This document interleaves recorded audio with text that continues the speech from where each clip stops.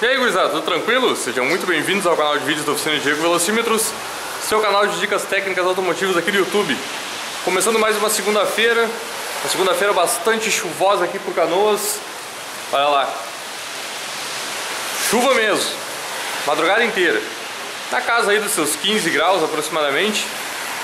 E a gente não poderia deixar de começar mais uma semana então Na segunda-feira do dia 13, né? Sem falar de um francês até falando em francês, era para ter saído um vídeo aí de um C5, né, que eu tinha comentado no vídeo do C4 para vocês. Pois é, o cliente não veio, tentei entrar em contato com ele inúmeras vezes, é né, um cliente fiel aí da oficina, não sei o que aconteceu. Não consegui contato com o cara. Vai saber, né? Mas vamos virar aqui. Ó, o francês em questão hoje é esse cara aí, ó. É um Megane Grand Tour é um carrinho aí que eu particularmente tô, sou chegado, vamos dizer assim, né? Eu acho um carro esteticamente bem legal, confortável. Né? Esse aqui é um 2012 equipado com um motor K4M, né? O motor aí na versão de 1.6 litros, 16 válvulas, que precisa aí de uma atenção na parte de correias, tá? Ele tem um acesso relativamente chatinho, vamos dizer assim, para troca das correias, né? Tanto na versão K4M como no F4R, que é o 2.0 no caso. Mas tá tranquilo, né? Nada de muito crítico, vamos dizer assim. Colby já tá pegando aí dentro, né? O cliente ele gosta de dar algum talento no carro ele mesmo. Então ele já veio aqui, já comprou diversos produtos da Colby, na verdade, para poder aplicar no carro dele. Né, a Kobe aí vai dominar o mercado em breve, vocês podem ter certeza. Produtos de qualidade com um resultado excelente, né? E a preço atrativo, não teria outro, vamos dizer assim. Mas enfim, dá um talento aí da parte de correias, injetores, né? E o cliente também pediu para nós para poder aplicar o torque correto nas rodas, né? Todas as rodas. Então tranquilo. Isso aí a gente faz sem problema nenhum, beleza? Então vamos lá. Vamos começar a trabalhar aqui, ganhar acesso no que a gente precisa, posicionar o carro no elevador direitinho e a gente vai grudando. Megane Grand Tour 1.6 16 válvulas 2012, pouquinho mais aí de 66 mil quilômetros no odômetro. Aqui o detalhe da roda dianteira direita que foi removida, né? A gente poder ganhar esse acesso aqui. E a gente desmonta essa cobertura do paralama aqui da parte frontal, ó, tá? Ela é dividida em duas partes. Para poder dar acesso aqui à polia do virabrequim, né? O tensor de apoio aqui, tensor na verdade da correia Poly V, compressor e alternador, tá? Essa já foi removida, ó. é uma 6PK 1199 e a poliazinha que também vão ser substituídas. Aqui o cliente já trouxe para nós. Vamos atender o telefone e a gente volta na sequência. Nesta cena aqui é o seguinte, ó. Nós já removemos aquele suporte superior aqui do motor, né? E também os parafusos de fixação desse outro suporte aqui que serve como capa da correia, né? O suporte aquele prende aqui em cima. E esse essa outra peça metálica aqui de alumínio, né, antimônio, não sei o que é, é uma liga de alumínio. Ela vai parafusar então no motor também, tá? Com a utilização de um cavalete e uma base, a gente apoia sobre o cárter e boa. A gente já consegue então soltar todos os parafusinhos e porcas aqui para poder remover a peça, né? Aqui tem um detalhe, ó. A gente tem um prisioneiro, tá? Esse prisioneiro aqui a gente consegue ter um acesso mais fácil com ele por esse furo redondo que tem ali embaixo, ó. Ou seja, no momento que a gente remove a cobertura do paralama, esse furo aqui dá exatamente naquela porca lá. Tranquilo? Então fica aí extremamente mais fácil, né? Tá um pouco quente aqui. Deixa eu ver se eu consigo sacar com uma mão. É, vou precisar das duas mãos. Mas a gente já tira fora daqui a pouquinho. Depois é só continuar desmontando. Beleza. Capas removidas. Né? Superior e inferior. Assim como a polia da correia Poly V também, né? Então tá aí. Agora a gente já consegue ver aqui as polias dos comandos, né? Admissão e escape. polia de apoio, essa aqui frisadinha, bomba d'água e o tensor. Lá embaixo, né, a polia então do VB. Diego, dá para sair desmontando as correias então agora, soltar o tensor e tal? Calma. Muita calma nessa hora. Precisamos tirar aqui a tomada de ar, porque aqui atrás tem umas tampinhas que a gente precisa remover para inserir aí as ferramentas de fasagem, né? Aqui, um pino lá embaixo. E aí sim a gente posiciona o cara e consegue fazer com tudo na boca. Beleza. Nosso motor aí como teríamos a suspeita de que ele estaria fazendo de fato a primeira troca da correia dentada, né, devido à procedência aí que o dono conseguiu de informações do carro, né, pela quilometragem, e de fato bateu certinho. Se porventura essa correia já foi substituída antes, pelo menos ferramentas de fasagem foram utilizadas, né? A gente tem essa ferramentinha aqui atrás, ó, que trava os comandos de válvula, né? Comando de admissão e comando de escape. Tem duas meia-lua, tá? A meia-lua maior que fica para cima e a meia-lua menor que fica para baixo nos dois comandos, tá? As meia-luas menores voltada para baixo. A ferramenta entra nos rasgos, né? A gente rouba um parafusinho daqui, ó, apenas aí para apoio da ferramenta, né? A ferramenta já trava bem certinho, mas é apenas para ficar legal, né? Depois lá embaixo, nós temos um pino aí que encontra o PMS. Aí eu não sei se eu vou conseguir pegar ele daqui para vocês, ó. Na verdade ele até aparece a pontinha lá embaixo. É, a gente não vai conseguir foco, vai ficar um pouco estranho. Mas eu utilizei aqui um relógio comparador para poder ilustrar para vocês, ó. Quando a gente bate exatamente o PMS do ponteiro, né? Para quem não sabe como funciona o relógio comparador, essa base onde está o, o, zero aqui no, na agulha do ponteiro, ela é móvel, tá? A gente pode girar essa base aqui para onde a gente quiser posicionar. No momento que a gente insere o relógio comparador aqui, a gente vai girando que a, que a cabeça do, do pistão, tá? Imaginem aqui que a, a palma superior da minha mão é a cabeça do pistão. Tá? No momento que ela encosta, né, o pistãozinho vem subindo. No momento que ela encosta na pontinha da agulha aqui da, da ferramenta do relógio, né, encostou em cima ela vai subindo então essa ponta do relógio comparador. Com isso, o ponteiro vai girando. Tá? No momento que ele chegou numa determinada altura, né, você segue girando o virabrequinho, o ponteiro chegou numa determinada altura e depois ele começa a voltar para baixo, porque naquele ponto máximo que ele atingiu ali é o PMS aí do motor, tá? Esse motor não necessita de fato de um relógio comparador, tá? Apenas a ferramenta lá, ferramenta traseira e boa. Mas digamos que a ferramenta esteja um pouquinho empenada, né? Às vezes o pessoal utiliza essa ferramenta para poder dar o torque no parafuso do VB aqui e não pode, tá? Existe uma outra ferramenta para isso. Esse pino vai empenando, né? Porque o contrapeso do virabrequim ele apenas apoia em cima do pininho. Então ela não pode ser usada para torquear ou destorquear parafuso, é apenas para encontrar PMS. Deixa eu ver se aqui por baixo eu consigo mostrar para vocês, tá? Se tremer um pouquinho aí, me perdoem. Mas é que a posição aqui, a feição não é das melhores. Vamos ver se a gente consegue entrar com a câmera aqui, ó. Estão vendo esse furo ali? Bem ali tá o pino, tá? O espaço aqui é muito pouco para chegar com a câmera. É, desculpem, não vai, não vai ser possível mostrar, tá? Deixa eu ver se eu consigo mostrar aí de outra forma, então. Eu vou procurar o manual da ferramenta, que lá tem uma imagenzinha. Se eu encontrar, eu mostro pra vocês. Ó, tá aqui o nosso cara, tá? É o Raven 151001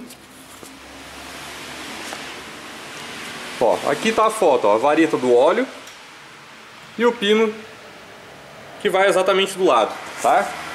Até aí aproveitando, mandar um recadinho para a Raven aí, né? Estamos aguardando uma parceria com a oficina. Né? Nós utilizamos todas as ferramentas especiais da Raven aqui. Acho que poderia ter um reconhecimento da marca, né?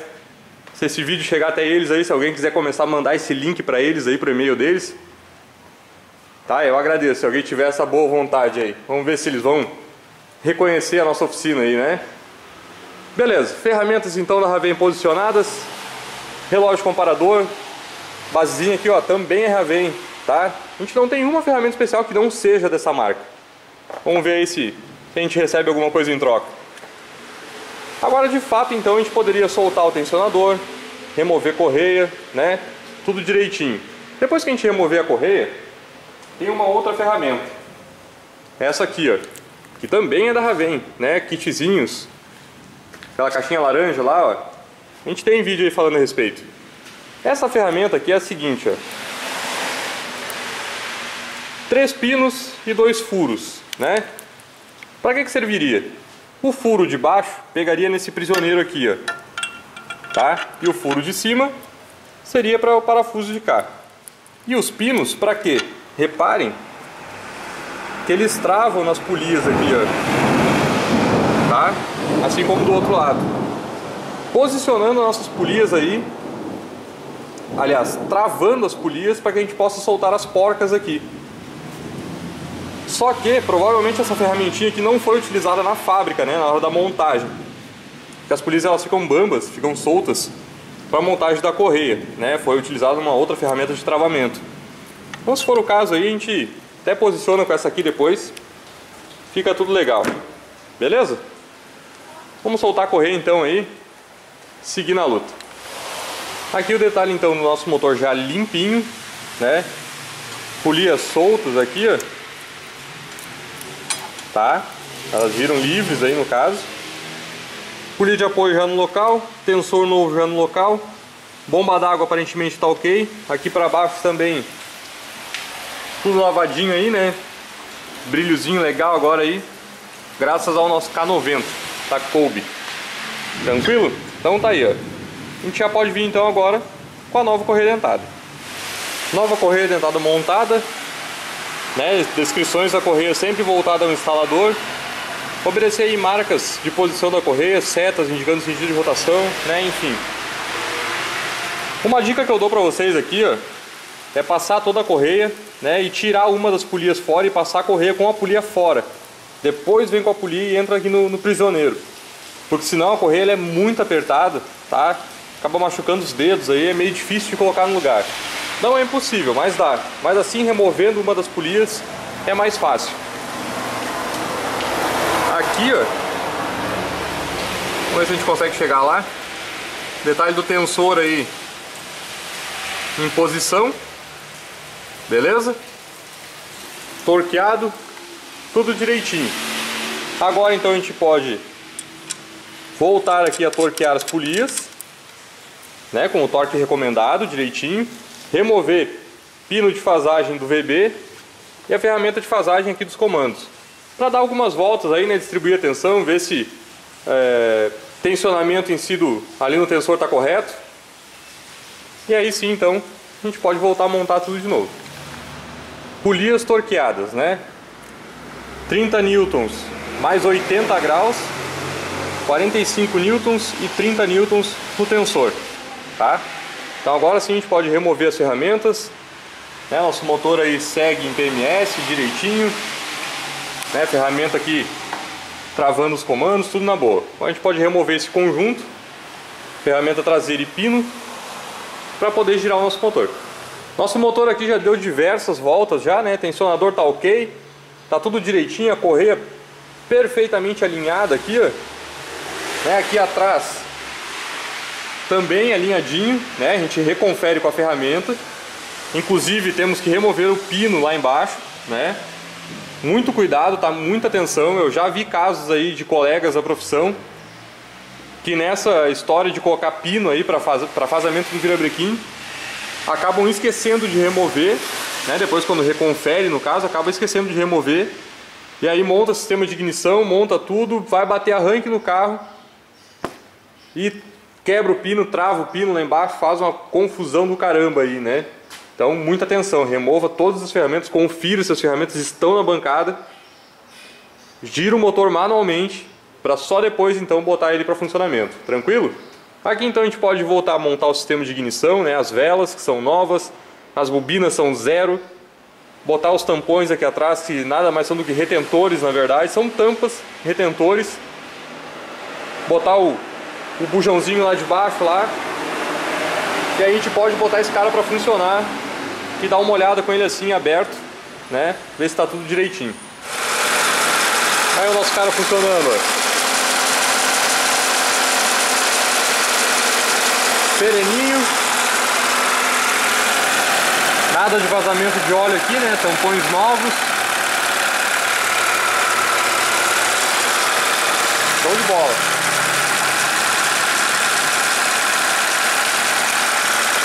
É isso aí. Vamos seguir montando o cara. Aqui é o seguinte, o cliente pediu pra gente remover aqui o vaso de expansão para poder tentar limpar ele, né? Que ele tá bastante sujo por baixo capas das correias já estão montadas, né? A polia lá embaixo do VB também. Tá tudo direitinho. Já eliminamos aqui os, os injetores, né? Removemos eles daqui, na verdade. Enquanto o motor está sem o suporte desse lado, que ele ganha esse, esse ângulo, vamos dizer, a gente consegue tirar ele aqui com mais facilidade. Né? Se não, desmontando esse painel frontal aqui também tem um acesso bastante tranquilo. E aí, apareceu um pequeno detalhezinho para nós. Antes, vou mostrar para vocês aqui Detalhe desse alicatinho aqui, ó, que ele morde aí a mangueirinha, né, um alicate plástico na verdade, ele é só estrangula ela ali para não ficar vazando mais, tá?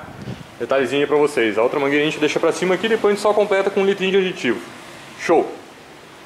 O detalhe aqui é o seguinte, ó. Primeiro eletroinjetor, 88 ml. O segundo com 78, né, 10 ml de diferença. Terceiro com 84, quase 85, e o quarto aqui com 85 cravado, tá? Só que repare na cor aqui, ó, dos conectorzinhos, né? Cinza clarinho e cinza escuro. Por quê? Porque um injetor estava quebrado, tá? Ele está até colado aqui embaixo, tá? Tem cola, eu não sei se dá pra pegar no vídeo, aquela Super Bonder ali, ó. Porque ele tá e aí é o seguinte, acharam um jeito de fazer ele funcionar, colocaram no local e beleza. No momento que a gente começou a mexer, o defeito se manifestou, né? Então aqui, nós já encomendamos um injetor novo, né? Ele está aqui com 85, então dá para ver que esses aqui estão bem, bem próximo do, do novo, vamos dizer. E aqui que está errado, ó. Vamos para banho então, para ver se a gente consegue corrigir. E aqui no reservatório de expansão, ó, já dá para ver que na verdade ele está um pouco queimado, né? Tem uma sujeira ao fundo mas vamos ver se a gente consegue lavar ele, deixar direitinho. Esse aqui foi o melhor que a gente conseguiu fazer pelo nosso reservatório. Né? Ele já deu aí uma certa clareada já, mas não adianta, o etileno glicol queima ele, né? Apesar de que hoje ele está com aditivo da Kobe, tá? Mas paciência, né? Eu não estou conseguindo entrar em contato com o cliente, o celular dele está dando como desligado para ver se ele quer trocar o reservatório, né? Mas acredito que ainda não seria necessário, vamos dizer assim. Daria para guardar para uma próxima limpeza, né? Uma próxima troca do aditivo para poder fazer então a troca do reservatório, né? Vamos ver o que ele decide. Injetores, depois aí de 10 minutinhos de banho, vamos tirar aqui então o ar da flauta.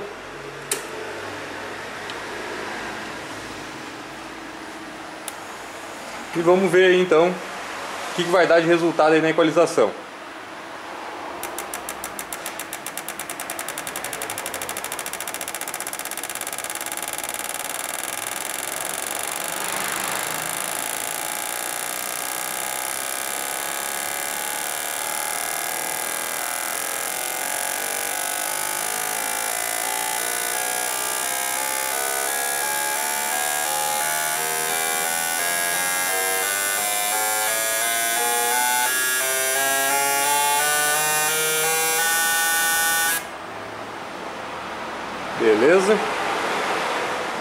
Esperar aí dar uma, uma decantada na espuminha.